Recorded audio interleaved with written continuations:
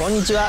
ユアーズです。今回は新型スイフト専用ブレーキ全灯化キットのご紹介です。新型スイフトにブレーキ全灯化キットが新登場。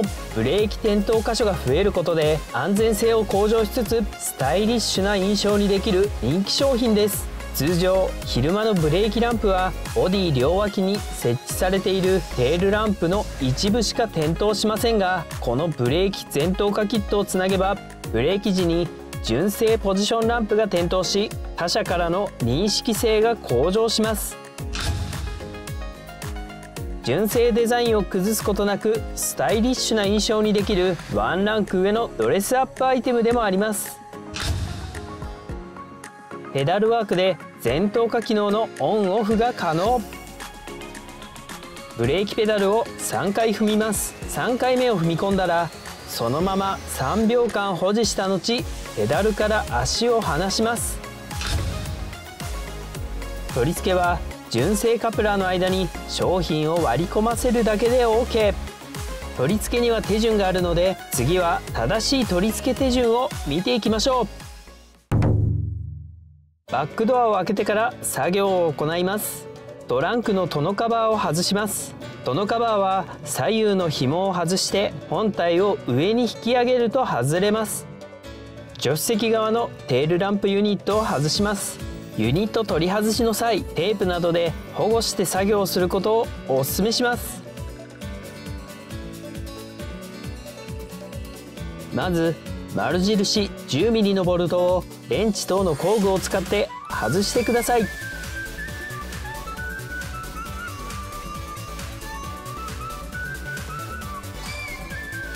テールランプの隙間に手を入れ手前に引いてユニットを取り外してください。ユニットは裏側2箇所のピンで固定されています。テールランプユニットの下にタオルなどを引いて車体に傷がつかないようにしてください。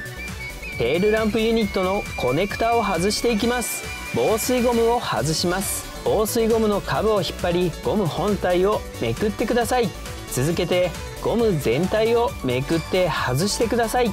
透明のカバーとコネクタが一体になって装着されています。マイナスドライバーでカバーの爪を差し込みカバーの片方を引っ張ってください。カバー片側が外れたらカバーとコネクタを引き出してください。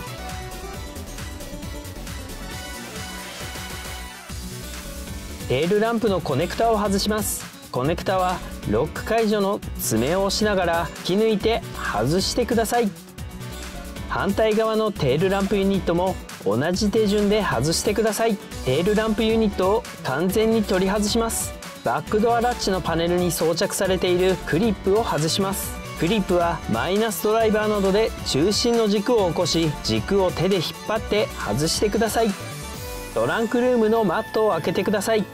バックドアラッチのパネルを外します。真上に引き上げて外してください。反対側のパネルも同じように上に引き上げて外してください。パネル全体が浮いた状態になったら完全に取り外してください。バックドアのウェザーモールストリップを外周に沿って外してください。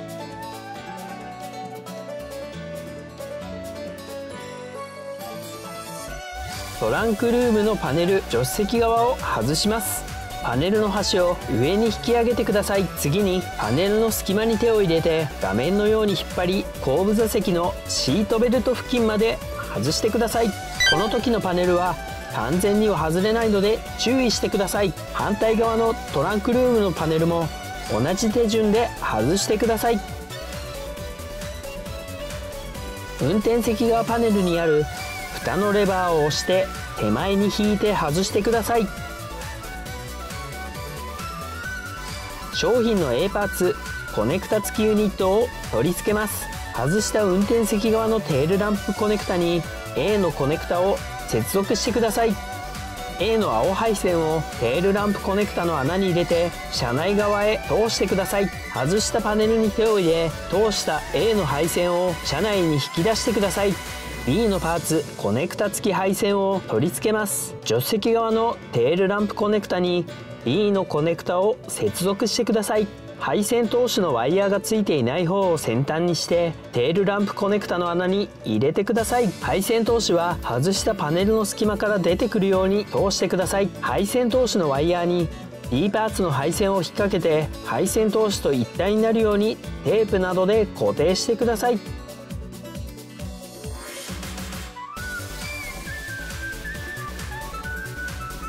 配線通しを引っ張りパネルの隙間から出てくるように引き出してください。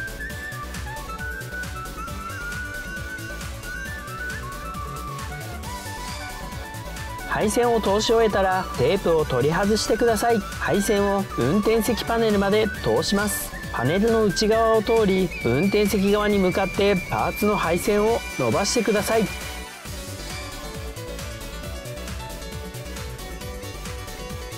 A パーツの配線と B パーツの配線を接続してください。余った配線が邪魔にならないように整理し絶縁テープや結束バンドなどで固定してください。助手席側のテールランプを元通りに戻していきます。テールランプのコネクタが元の状態になるように外したゴムキャップをかぶせてください。助手席側テールランプのコネクタと B パーツのコネクタを接続してください。テールランプの穴にゴムキャップを押し込んで装着してください。キャップを装着したらテールランプを車体に取り付けてボルトで締め付けます。運転席側も同じ手順でテールランプを装着してください。テールランプを取り付けたら外したパーツを元通りに戻してください。水漏れの原因になるのでウェザーモールストリップを装着する際はウェザーモールが浮かないように隙間なく密着させてくださいね。以上で作業完了です。ブレーキ転倒箇所が増えることで安全性を向上させるブレーキ全灯化キット純正デザインを生かしてよりスタイリッシュな印象にペダルワークで全灯化機能のオンオフも可能ですよ。新型スイフトにお乗りの方是非お試しください。この動画が参考になったという方はグッドボタンとベルマークをチャンネル登録もお待ちしております。